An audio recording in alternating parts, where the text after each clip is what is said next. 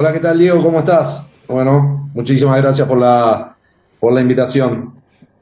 Bueno, la verdad que un placer eh, tenerte nuevamente en Grito Sagrado, viajar virtualmente hasta Quito, Ecuador. Contanos cómo está la tarde allá en el centro del mundo.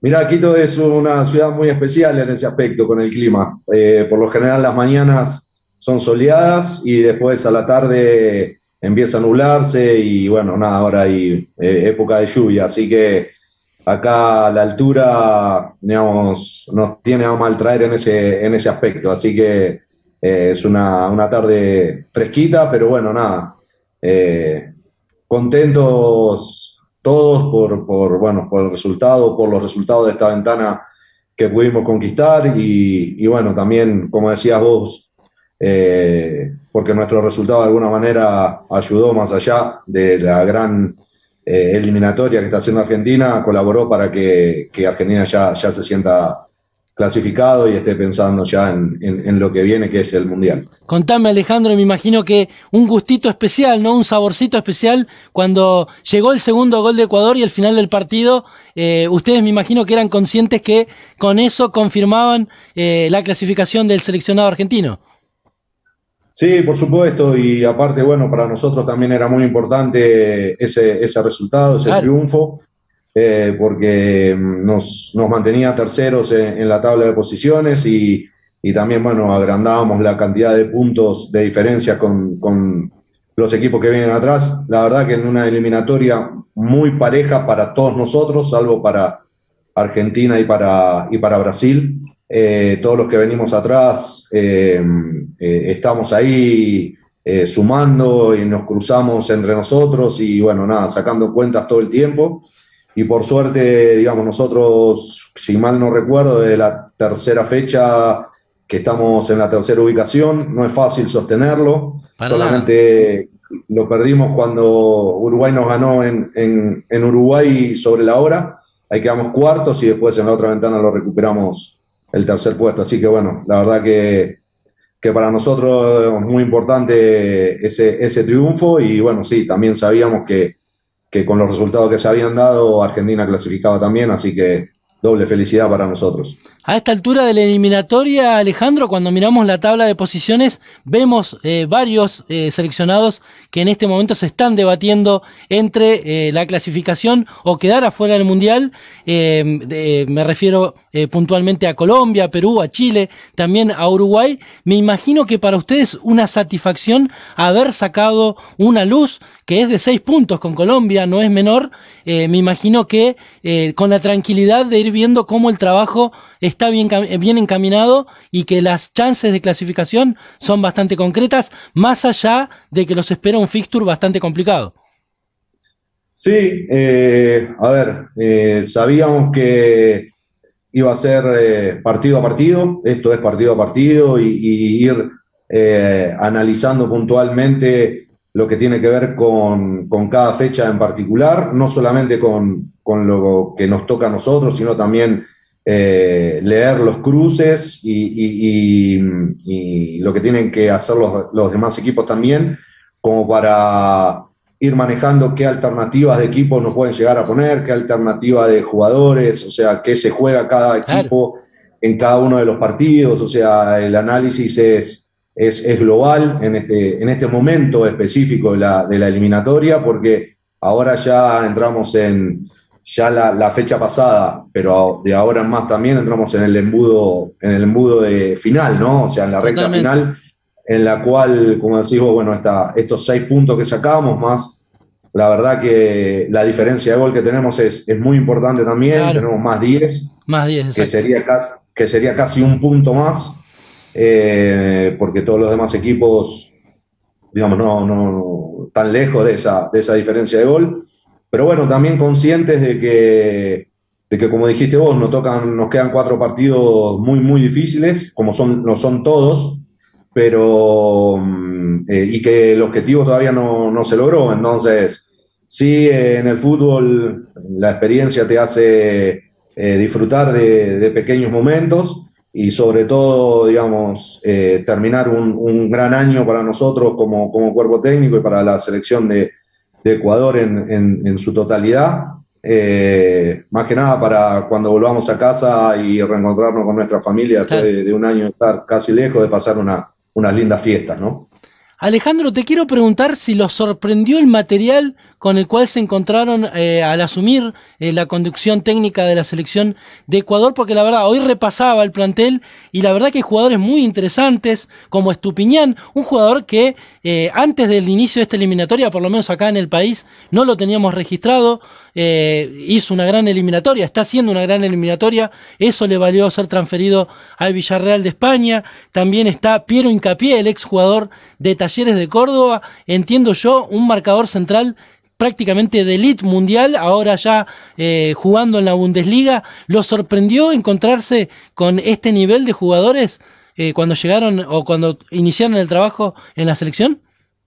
Sí, eh, en realidad no es que nos sorprendió porque cuando surgió la posibilidad de, venir a trabajar hicimos bueno, un análisis global de, lo que nos podíamos llegar a, encontrar en cuanto a jugadores y sabíamos que había un grupo de jóvenes muy, muy interesantes que habían ganado el, sudamericano, el último sudamericano y habían salido terceros en, el Campeonato Mundial Sub-20, claro. que son muchos de estos chicos que, bueno, nada, eh, Gustavo no, no, no, dudó en ningún momento de darle la posibilidad de, jugar en la selección mayor. Y la verdad que, eh, por un lado, es una, una a ver, eh, una gran lectura y de, Gustavo y todos nosotros de, tomar las decisiones en relación a, que, mm, a ver, que se entienda bien, que no nos interesan las edades, sino nos interesan los rendimientos. Claro. Y, que hemos, sobre todo Gustavo, tomado la decisión de darle a estos chicos este, este recorrido tan importante. Y, mm, bueno, eh, de alguna manera, digamos, no, no lo están devolviendo.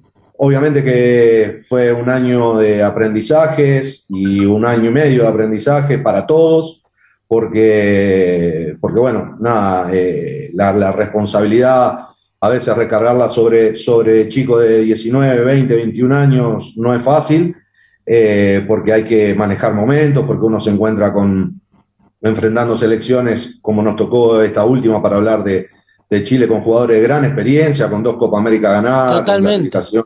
y, disputas de mundiales. Entonces, manejar los momentos de los partidos, manejar las presiones, realmente eh, no, no es fácil, no es fácil para nada, pero, pero la verdad que este grupo de jugadores, digamos, hay que sacarse el sombrero porque eh, los grandes los, los están acompañando en este camino y ellos están eh, rindiendo al nivel que nosotros, nosotros esperábamos. Así que eh, creo que, debemos ser la selección eh, más joven de, la eliminatoria sudamericana. y, sí, sí. Y, eso es un, la verdad, es un orgullo muy importante para todo Ecuador, ¿no es cierto? Porque mm, cuando nosotros llegamos era todo incertidumbre, plena pandemia, septiembre del año pasado, un mes para, para presentar al equipo y debutábamos con Argentina en, en la bombonera. nada más y nada menos. Y, nos tocaban los cuatro primeros partidos que eran, eran terribles. Y, bueno, la verdad que, que, hemos trabajado mucho, como siempre lo hacemos, y, y por suerte, digamos, agradecido a estos jugadores que, que bueno, hoy nos tiene en esta, en esta posición en la, en la tabla, ¿no? Alejandro, recordaba hace un instante eh, la nota que hicimos el año pasado, eh, nos contabas cómo es el trabajo del análisis de video, ahora te quiero consultar cuál es la diferencia, porque antes lo hacías como integrante del cuerpo técnico de un club, me imagino que ahora en una selección eh, se agranda el espectro, porque también hay que hacer seguimiento de jugadores en las diferentes ligas del mundo y también observando jugadores o selecciones de las más diversas partes del mundo. Sí, eh, digamos, empieza a ser más trabajo de oficina, por llamarlo de alguna manera, para todo el cuerpo técnico, que, en los clubes, eh, porque la realidad es que estamos todos los días, eh, vamos a, la oficina a trabajar y cada uno tiene asignado desde equipo, jugadores, análisis de los rivales y, y, hacemos estos seguimientos, como decís vos, de, todos los jugadores ecuatorianos que, están jugando en el exterior y acá todos los que están disputando la, liga local eh, todos los fines de semana vamos a los estadios, nos repartimos para ir a verlos personalmente y mm, bueno, nada, eso nos, nos, ayuda, nos ayuda mucho. Y mm, bueno, tanto es así que este seguimiento hizo que, que en esta ventana los dos partidos juegue, debute este chico Jeremy Sarmiento, que está en el Brighton, que ha jugado muy poquitito, unos pocos minutos ahí, tiene apenas 19 años.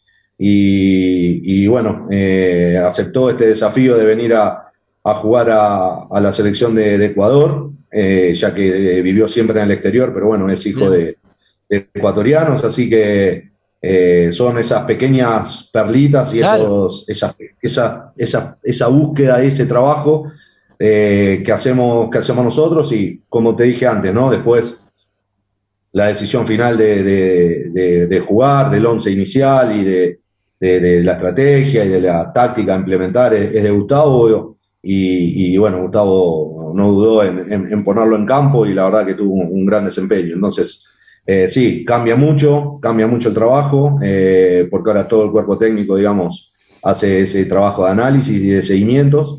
Y, bueno, después, eh, cuando nos reunimos, volcamos sobre la mesa las cosas que visualizamos y, bueno, nada, damos nuestras opiniones para, para ayudarlo a Gustavo a tomar las mejores decisiones. Me imagino, Alejandro, que no queda tiempo ni para dormir casi, con todos los jugadores y todos los partidos que hay para ver. Es verdad, sí, eh, es así. Eh, la verdad que es, es mucho trabajo.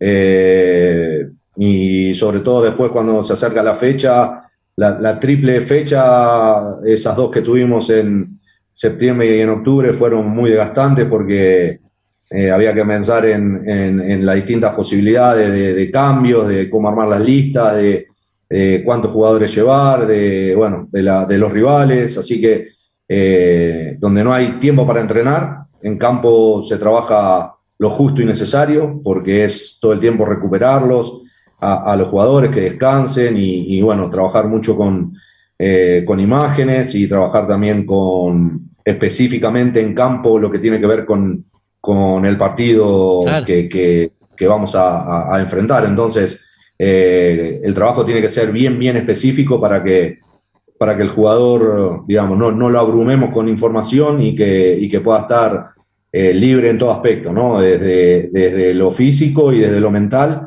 para que cuando esté en cancha pueda tomar buenas decisiones, ¿no? Alejandro, mencionabas recién el debut de Ecuador, que fue eh, ya hace un año aproximadamente, poquito más de un año, en la bombonera. Eh, ante Argentina, eh, un debut sumamente difícil. Hay que reconocer que en los papeles y en la previa muchos argentinos pensaban que ese partido iba a ser un trámite. Resultó siendo un partido sumamente parejo. Argentina apenas lo ganó 1 a 0. Pero te quiero preguntar cómo se vive esa situación de siendo argentino estar trabajando en la vereda enfrente eh, y en condición de visitante. en, en, la bombonera, un estadio que ya conocías por tu trabajo reciente también en Boca Juniors. Sí, eh, exactamente, son esas vueltas que tiene el fútbol, ¿no? Eh, y la vida muchas veces. Eh, la verdad que uno se debe a, la gente que lo contrata y, en estos casos, obviamente que el, sentimiento queda, queda aparte, o sea, uno está muy concentrado en lo que tiene que hacer y preparando el partido y, y es nuestro trabajo y nuestra obligación esa, eh, lo que tiene que ver con darle lo mejor a, la selección de Ecuador, eh, preparar bien los partidos y, bueno, son 90 minutos, eh, nos tocó también cruzarnos en, Copa América y son 90 minutos en los cuales, bueno, uno piensa pura y exclusivamente, exactamente, en nuestro trabajo y, en lo que nosotros tenemos que hacer para para, sacar adelante los partidos y, y, darle siempre las herramientas a, los jugadores para que ellos eh, puedan desarrollar y puedan hacer un, gran partido y que puedan crecer, ¿no? Esto que, venías diciendo vos, ¿no? Lo que, lo que tiene que ver con darle la posibilidad de, jugar en la selección y que a algunos jugadores, como el caso de Piero Incapié, que, que bueno, nada, que vaya a jugar al Bayern con al Bayern Leverkusen con, con 19 años y que sea titular. Entonces, esas cosas son las que, las que nos gratifican, ¿no? Y bueno, obviamente que eh, hoy Argentina está clasificado, así que recién lo vamos a enfrentar de vuelta acá en Quito en la última fecha. Así que... ¿Quién te dice con Argentina, Argentina clasificada y Ecuador quizás también? Ojalá, ojalá, ojalá que, ojalá que así sea. Sabemos que, todavía falta, que nos quedan eh, la próxima ventana en enero. Recibimos acá a Brasil y después vamos a, Lima a enfrentar a Perú. Un clásico. muy, muy complicados. Exacto. Y, pero bueno, eh, ya cuando llegue el momento, digamos, nos concentraremos bien en, lo que tenemos que hacer para, para, sacar los puntos necesarios para ir acercándonos cada vez más a, este objetivo, ¿no? El, al, sueño que tenemos todos, todos los que pertenecemos acá al cuerpo técnico, a los jugadores, a la Federación Ecuatoriana y a todo, a todo un país ¿no? que, que está detrás de esta, de esta selección. Alejandro, la verdad que una charla muy interesante, muy grata. Eh, me encantan estas charlas futboleras. Eh, y te quiero preguntar tu visión, ¿cómo ves al equipo de Leonel Scaloni, a la selección argentina? Sabrás que por acá se habla de que el equipo encontró una identidad, una forma de juego, que la está, eh, la está sabiendo ejecutar de una manera correcta, como una de las grandes fortalezas que tiene esta selección de Scaloni. Pero quiero preguntarte a vos como analista del fútbol, ¿cuál crees que es la mayor fortaleza que tiene la selección argentina? Hoy en día el grupo, hoy en día el grupo, el grupo sólido que, pudo armar el cuerpo técnico, esa es una virtud del cuerpo técnico, de armar este grupo de jugadores que, se encolumnaron detrás de, de, Messi en este caso y, que eh, le dieron la, seguridad eh, al equipo que, que, estaba necesitando. ¿sí? Quizás que es un equipo completamente diferente desde el juego a todos los anteriores. Quizás no sea tan vistoso, es un equipo mucho más duro, mucho más sólido, mucho más firme en defensa. Eh, no es un equipo quizás que te vaya a proponer eh, todo el tiempo. Eh, ha conseguido también desde, más allá de que ya lo tenía, porque tiene arqueros de gran nivel, pero este último, este último tiempo con, con Emiliano en, en el arco, digamos, también mucha seguridad. Y, la realidad que hoy en día em, poder eh, armar un, tener un equipo sólido con que no te conviertan goles con el cero en tu arco eh, da muchas da muchas posibilidades porque uno sabe que, que, Argentina siempre va a tener alguna opción de gol tiene jugadores de gran nivel de jerarquía que, que algún gol siempre te va a hacer. Totalmente. Y que, y que digamos, claro esa, esa, esa propuesta de, cómo presionar, de dónde presionar, de, hacer, no sé, primeros 15 minutos de mucha presión alta, de, tratar de convertir, y a partir de ahí, si lo logran, ya es un equipo que se arma en un bloque defensivo bajo y, que sale de contragolpe con transiciones muy rápidas y, con, mucha precisión. Entonces, la verdad que se hace, se hace difícil enfrentarlo. Yo creo que que la mayor virtud de, Argentina es armar un grupo, conseguir un grupo sólido, encolumnado, detrás de un, del objetivo. Y, creo que es un equipo también eh, muy duro, muy duro. Sí, es un equipo muy, muy duro para, para la competencia. Sí, queda muy claro lo que decís. Eh, quizás se han conseguido algunas cuestiones que en procesos anteriores no se terminaban de, materializar y de ahí el buen presente de la selección. Ya para agradecerte tu tiempo y, y liberarte, sabemos que tenés mucho trabajo, te voy a hacer una pregunta que es más que nada una curiosidad personal y tiene que ver desde tu trabajo, cómo se hace o si realmente se hace este trabajo de, por ejemplo, conseguir material para observar a las selecciones que están participando, por ejemplo, en la eliminatoria africana, en la eliminatoria eh, de Oceanía. ¿Se hace ese trabajo? ¿Ya tienen vistos a esos equipos que no estamos tan habituados a ver eh, día a día? No, no, no, no. No nos anticipamos a nada todavía. No, no. Nosotros estamos focalizados en lo nuestro y en los rivales que nos, que nos tocan. Pero bueno, eh, para contestarte un poco la pregunta, más allá de, lo específico, si nosotros miramos eso o no, hay, unas, eh, hay dos plataformas que son las más conocidas, eh, en las cuales están, obviamente son, son pagas, pero están todos los países del mundo, todos los equipos, de, tanto sea de, la liga, de las ligas locales como de las selecciones. Entonces, bueno, hoy en día con la tecnología se tiene acceso rápido con, un, con, una, con una clave y una contraseña para poder ver el partido que vos quieras, del país que vos quieras o el seguimiento del jugador que, que, vos desees también. Entonces, eh, eso la realidad es que ha avanzado mucho. Antes, cuando yo empecé, hace ya 16 años atrás, había que conseguirlo los VHS primero, los VHS, y después los DVD que había que pedirlos y bueno, nada, era, era mucho más complejo todo.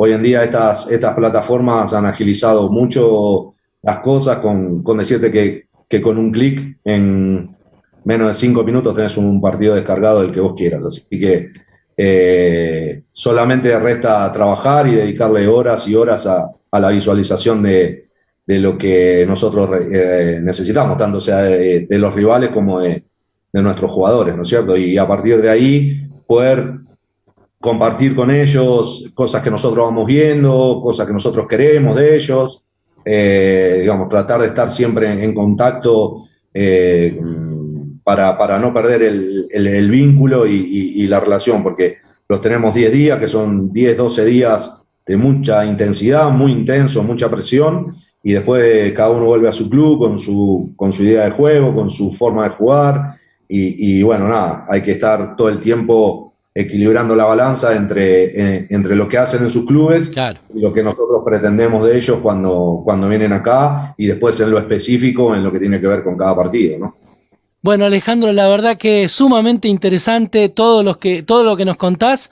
Ya habíamos hablado el año pasado, volvimos a hablar hoy y ojalá que pronto podamos hacer otra nota ya con la clasificación de Ecuador para Qatar 2022. ¿Y quién te dice el año que viene hacemos alguna nota desde el Mundial? Eh, Alejandro, un placer enorme volverte a tener en el programa, muy interesante todo. Desearle eh, los mayores éxitos, no solo a vos, sino al cuerpo técnico que encabeza Gustavo Alfaro. Así que muchísimas gracias por tu tiempo.